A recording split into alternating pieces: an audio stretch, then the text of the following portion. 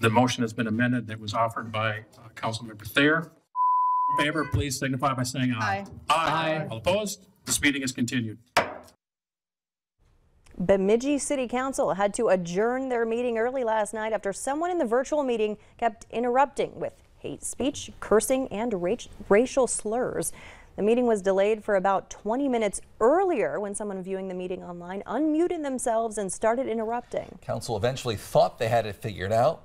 Then it happened again. Similar incidents have been happening at some other places in Minnesota, including in Duluth last October.